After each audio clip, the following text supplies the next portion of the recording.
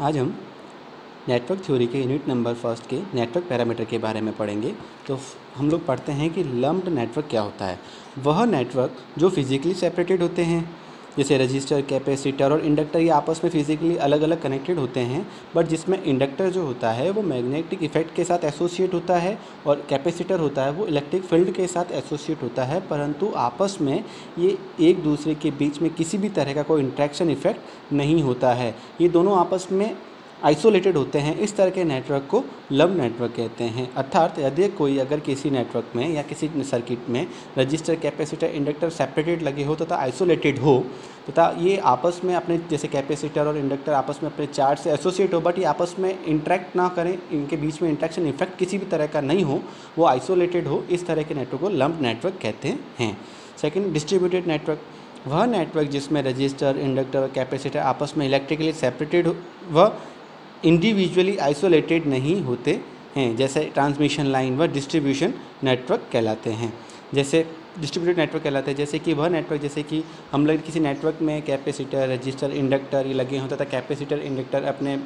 Charge के साथ associate हो, जैसे कि इंडक्टर अपना मैग्नेटिक फ़ील्ड के साथ एसोसिएट हो, कैपेसिटर अपना इलेक्ट्रिक फ़ील्ड के साथ एसोसिएट हो, परंतु ये आपस में इलेक्ट्रिकली सेपरेटेड होते हैं, परंतु इंडिविजुअली आइसोलेटेड नहीं होते हैं, ये एक साथ कनेक्टेड होते हैं, लेकिन आपस में इंटर इंट्रैक्ट नहीं होता है इनके इफ़ेक्ट का, लेकिन ये इलेक्ट्रिकली सेपरेटेड होते हैं, परंतु इंडिविजुअली आइसोलेटेड नहीं होते हैं, ऐसे नेटवर्क को डिस्ट्रीब्यूटेड नेटवर्क कहते हैं। नेक्स्ट है टाइम बेयरिंग पैरामीटर वह पैरामीटर जो सिस्टम के इनपुट व आउटपुट कैरेक्टरिस्टिक्स टाइम के साथ चेंज होता है, वह टाइम के रेस्पेक्ट में इनपुट व आउटपुट का मान चेंज होता है, ऐसे नेटवर्क पैरामीटर को टाइम वेरिंग पैरामीटर कहते हैं। जैसे कि टाइम वेरिंग पैरामीटर के नाम से पता चलता है टाइम वेरिंग जो टाइम के साथ वेरी करता है, या जिसका इनपुट या आउटपुट टाइम के रेस्पेक्ट में अपने पैरामीटर को चेंज करता है, ऐसा पैरामीटर को टाइम वेरिंग पैरामीटर या टाइम टाइम वेरिंग नेटवर्क कहते हैं। सेकेंड कि time invariant parameter, time invariant वह पैरामीटर सिस्टम जिसके इनपुट व आउटपुट कैरेक्टरिस्टिक्स टाइम के साथ चेंज नहीं होते हैं, वह टाइम इनवेरिएंट कहलाते हैं। जैसे कि टाइम इनवेरिएंट का मतलब है कि किसी भी सर्किट या किसी भी नेटवर्क टाइम के रेस्पेक्ट में अपने इनपुट या आउटपुट में किसी भी तरह का कोई चेंजेस नहीं करते हैं, ऐसे नेटवर्क या पैरामीटर को हम टाइम इनवेरियंट पैरामीटर कहते हैं। Next, voltage source. Voltage source क्या होता है? वोल्टेज सोर्स हम एक आइडियली बात करें तो वोल्टेज सोर्स वह होता है जो कि वोल्टेज को रखता है वोल्टेज डिलीवर करता है। तो वोल्टेज सोर्स को हम कैसे डिफाइन कर सकते हैं? तो कहते हैं कि तो इसमें इसे डिफाइन कर सकते हैं कि आइडियल वोल्टेज सोर्स व इंटरनल रजिस्टेंस ज़ीरो हो व प्रैक्टिकल वोल्टेज सोर्स का इंटरनल रजिस्टेंस नॉन ज़ीरो होता है, वो आई सीरीज़ के साथ लगा होता है। जैसे कि वोल्टेज सोर्स क्या होता है? वोल्टेज सोर्स वह होता है जो वोल्टेज डिलीवर करता है। अब वोल्टेज सोर्स भी दो टाइप के होते हैं। एक होता है आइडियल दूसरा होता है प्रैक्टिकल तो आइडियल वोल्टेज सोर्स वो होता है जिसके अंदर, जिस वोल्टेज सोर्स के अंदर इंटरनल रजिस्टेंस जो होता है, वो ज़ीरो होता है। जिसके अंदर इंटरनल रजिस्टेंस की वैल्यू ज़ीरो होती है और जब प्रैक्टिकल वोल्टेज सोर्स वह होता है जिसके अंदर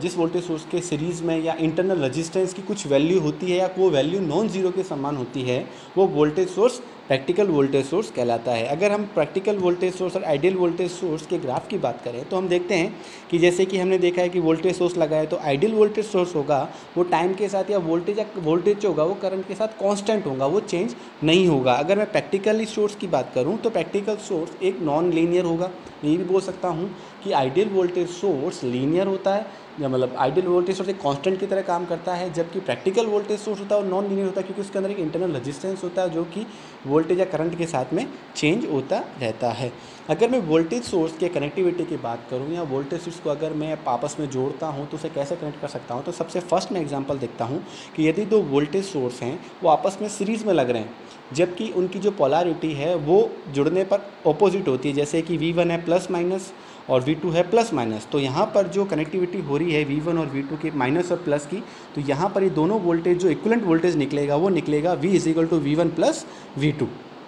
उसी प्रकार सेकेंड लेता हूँ मैं कि यदि मैंने वोल्टेज सोर्स सीरीज़ में लगाया है और दोनों की पोलैरिटी सेम है, जैसे कि वी वन है प्लस और माइनस और वी टू है माइनस प्लस तो अगर मैं यहाँ पे कनेक्टिविटी आपस में जो कनेक्ट हो रहे हैं तो इन दोनों वोल्टेज सोर्स के पोलैरिटी आपस में सेम होती है, जैसे कि माइनस माइनस तो यहाँ पर जो वोल्टेज मिलेगा, वो वी वन माइनस वी या V two minus V one जिसकी वैल्यू ज़्यादा होगी, उसके रेस्पेक्ट में वोल्टेज दिखाएगा। तो यहाँ पे जो इक्वलेंट वोल्टेज मिलेगा मुझे, वो V V is equal to होगा V one minus V two उसी तरह का थर्ड वन अगर मैं देखता हूँ कि यदि अगर दो वोल्टेज सोर्स पैरेलल लग रहे हैं तो इन दोनों वोल्टेज सोर्स का पैरेलल का मान समान होता है, तथा यहाँ पे जो इक्वलेंट वोल्टेज जो मिलेगा, वो मिलेगा V is equal to V one to V two उसी प्रकार अगर मैं फोर्थ नंबर अगर किसी वोल्टेज के पैरेलल में अगर मैं रजिस्टेंस लगाता हूँ यदि किसी वोल्टेज सोर्स के पैरेलल में अगर मैं रजिस्टेंस लगाता हूँ तो मैं उस इक्विवेलेंट वोल्टेज सोर्स को एज अ वोल्टेज सोर्स मान सकता हूँ तथा उस रजिस्टेंस को मैं नेगलेक्ट कर सकता हूँ। यदि इसी केस में अगर वोल्टेज सोर्स के रेस्पेक्ट में अगर यदि सीरीज़ में रजिस्टेंस लगता तो मैं उसे नेगलेक्ट नहीं कर सकता। अगर यदि पैरेलल में वोल्टेज सोर्स के रेस्पेक्ट में रजिस्टर लग रहा है तो मैं उसे नेगलेक्ट कर सकता हूँ। उसी प्रकार मैं लेता हूँ करंट सोर्स करंट सोर्स वो होता है जैसे हम मानते हैं कि जो सोर्स है, वो जो करंट डिलीवर करता है या इन्फाना टाइम तक जो करंट डिलीवर करने की कैपेबिलिटी रखता है, ऐसे सोर्स को करंट सोर्स कहते हैं। मतलब करंट सोर्स भी सेम तरह, एक तो आइडियल करंट सोर्स होता है, दूसरा प्रैक्टिकल करंट सोर्स होता है। जो आइडियल करंट सोर्स होता है, उसके अंदर किसी भी तरह का कोई इंटरनल रजिस्टेंस नहीं होता है। जिसके इंटरनल रजिस्टेंस की वैल्यू ज़ीरो होती है, वो होता है आइडियल करंट सोर्स और प्रैक्टिकल करंट सोर्स का मीन्स जिसके अंदर, जिस करंट सोर्स के अंदर इंटरनल रजिस्टेंस की वैल्यू नॉन ज़ीरो होती है, या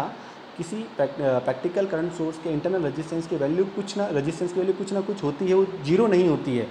तो उसके रेस्पेक्ट में वोल्टेज ड्रॉप होता है तो ऐसे सोर्स को हम प्रैक्टिकल करंट सोर्स बोलते हैं। अगर मैं प्रैक्टिकल करंट सोर्स को अगर ग्राफ से डोमिनेट करूँ तो मैं देखता हूँ कि v इजिकल टू आई के ग्राफ को अगर मैं देखता हूँ तो रेस्पेक्टली पैरेलली एक वर्टिकल लाइन मिलती है, जो कि एक आइडियल वोल्टेज सोर्स के ग्राफ को मैं शो करती है, जिसके अंदर किसी भी तरह का कोई इंटरनल रजिस्टेंस नहीं है। इंटरनल रजिस्टेंस नहीं है, उस वजह से इसमें किसी भी तरह का कोई डिफरेंस या डिफ्रेंशिएट नहीं प्रोड्यूस हो रहा है। अगर मैं प्रैक्टिकल सोर्स की बात करता हूँ तो प्रैक्टिकल सोर्स के अंदर उसके अंदर इंटरनल रजिस्टेंस कुछ ना कुछ होता है तो इंटरनल रजिस्टेंस जो लगता है वो पैरेलल में लगता है। जब इसकी ग्राफ की बात करता हूँ तो यहाँ पर जो ग्राफ मिलता है वो वर्टिकल है बट थोड़ा सा टिल्ट हो रखा है। तो ये जो टिल्ट आता है, उसके इंटरनल रजिस्टेंस की वजह से इसमें वेरिएशन क्रिएट होता है। तो इस प्रकार हो सकता है करंट सोर्स जो है आइडियल और वोल्टेज है। तो आइडियल के अंदर इंटरनल रजिस्टेंस ज़ीरो होता है, जबकि प्रैक्टिकल के अंदर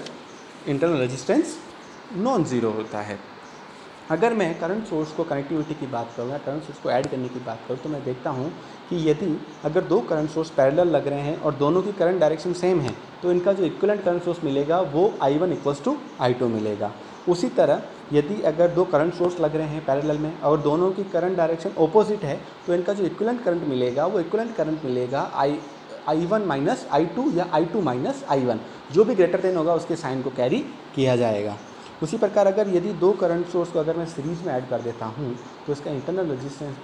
सॉरी अगर मैं दो करंट सोर्स को सीरीज़ में कनेक्ट कर देता हूँ तो जो इक्वलेंट करंट सोर्स मिलेगा, वो इक्वलेंट करंट सोर्स इन दोनों करंट की वैल्यू के समान होगा। तो आई जो करंट इक्वलेंट करंट सोर्स मिलेगा, वो आई इजिकल टू होगा I one equal to I two उसी प्रकार यदि अगर किसी करंट सोर्स के सीरीज़ में अगर रजिस्टेंस लग जाता है,